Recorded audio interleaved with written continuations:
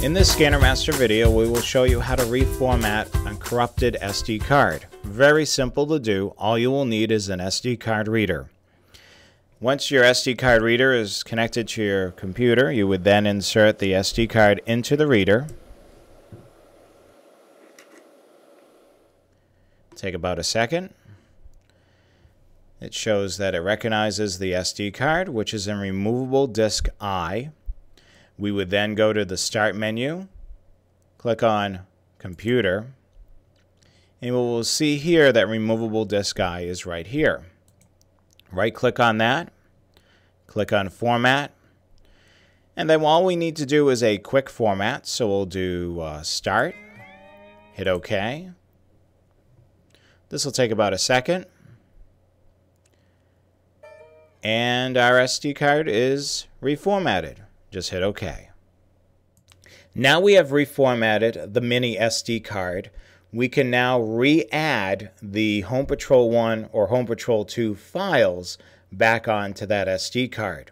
Very simple to do. You will need to download the Sentinel software, which you can do from the official website, homepatrol.com. And you can find that right under support on that website. I've already downloaded the Sentinel software. It is right here. It's very simple to do in the software. We would go up to Home Patrol, click on that, clear user data, click there.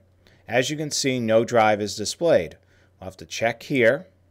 As you can see, I is the drive that we have reformatted. So now this is the SD card that's uh, inside the SD card reader. We will hit OK, hit OK again, and again. And now it's writing all the files that are needed to run the Home Patrol 1 or 2.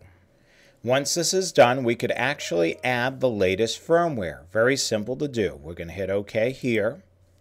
We're going to go up to Update, Update Firmware. Now we're going to hit OK. It's going to ask us which model scanner we have. Right now we have the Home Patrol 2. I'm going to check that off, hit OK. And now the latest firmware is on the SD card. Now you can place this SD card into your Home Patrol 1 or 2, depending on which scanner you have, and the SD card is now reformatted.